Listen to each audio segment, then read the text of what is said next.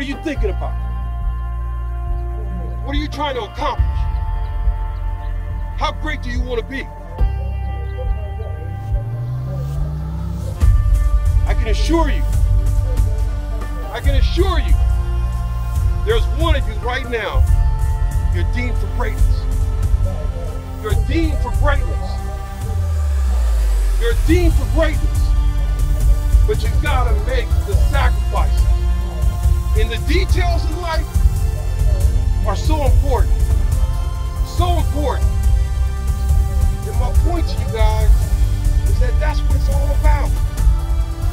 The great players,